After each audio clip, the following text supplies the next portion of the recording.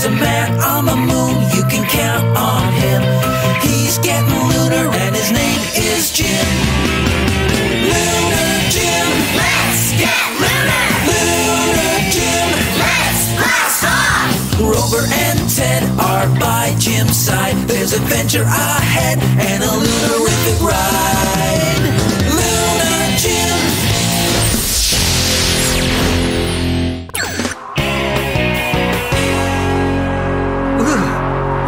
Than a cosmic ice cube in here.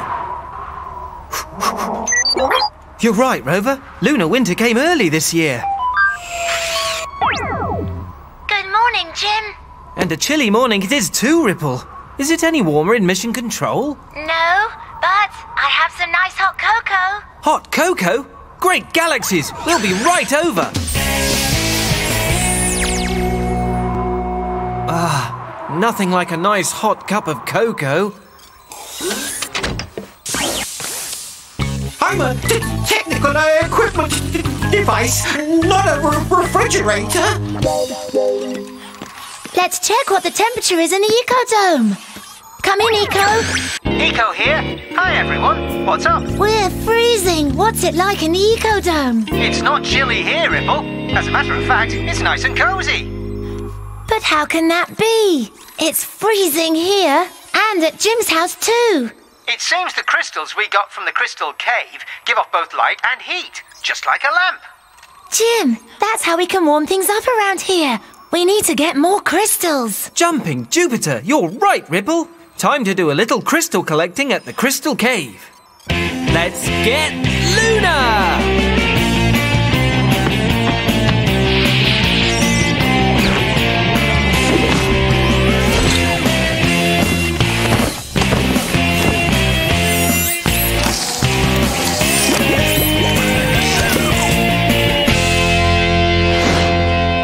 We take the lunar hopper, we can bring back lots of crystals in the trailer.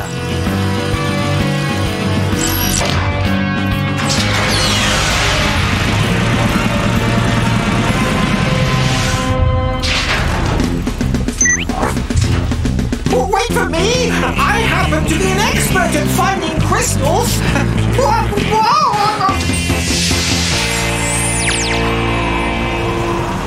we there yet?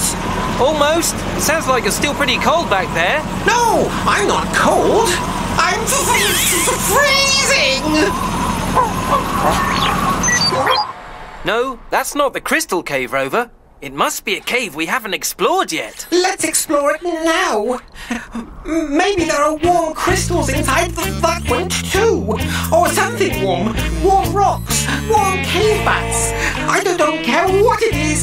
long as it's warm. Okay, nothing warm here. Let's go. But Ted, what about exploring? Exploring?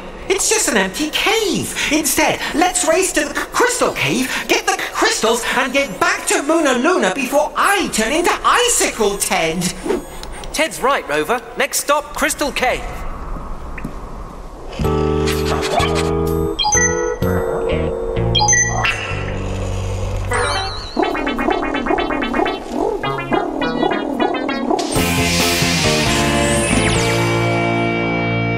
Crystals we found in the Crystal Cave will help keep us warm.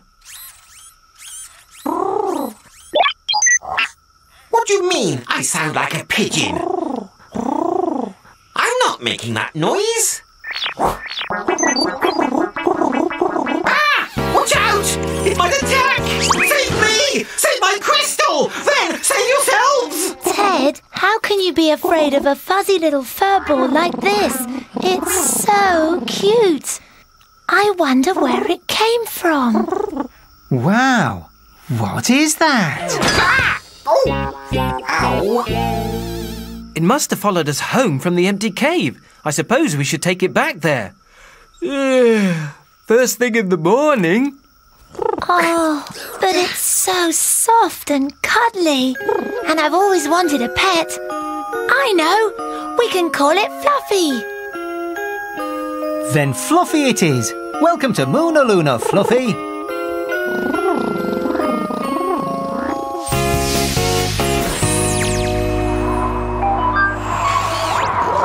Jim, come in, Jim. Good morning, Eco. What's all that noise? I can hardly hear you.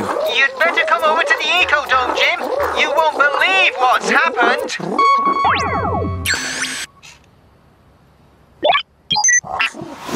I don't believe where did they all come from? They're multiplying. First there was just one, then two, then four, then eight. Now there are so many, I've lost count. They're going to fill the ecodome. Then we'd better get them back to their cave at lunar light speed. We can use your wheelbarrow to load them into the hopper, Eco.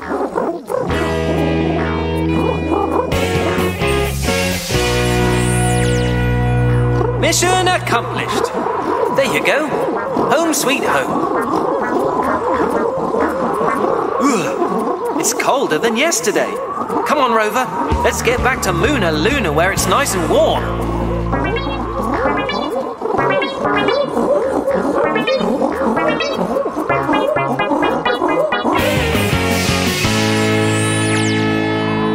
I'm going to miss the fluffies.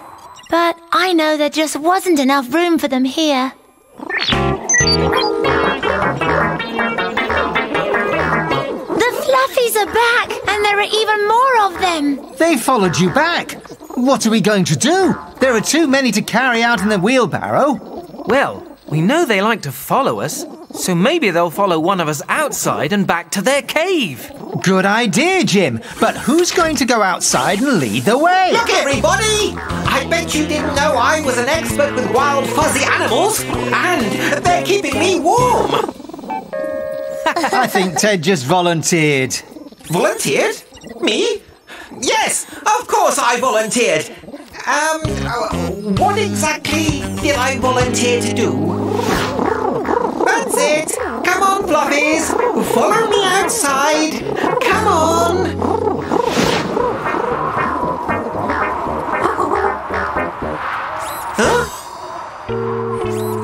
Did they go? Well, that didn't work. What now? Hmm, there must be another way to get them to follow us. Maybe they're hungry if we hold out food. That might work. Nobody this side of the Milky Way can resist my tasty moon melons. Sounds like they want some, Eco. Come and get some nice juicy moon melon. That's it. We'll go outside. Huh? Now, why did they suddenly run away from me and my delicious moon melons? Hmm. Every time we get them near the door, they run straight back in. I think they want to stay here. But what is it about mission control that they like so much? It's obvious. What the Fluffies like is me. Oh,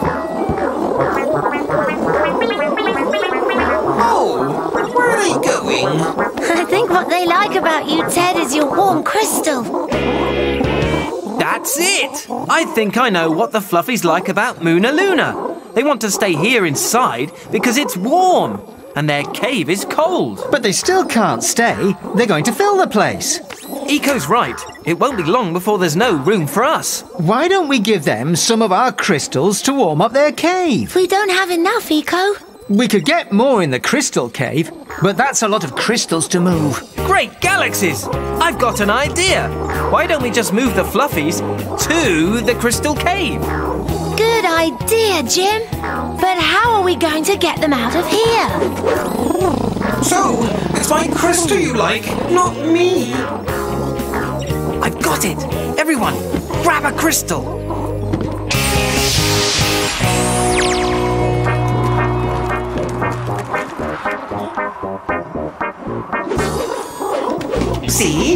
I told you I was taking you to a nice warm place.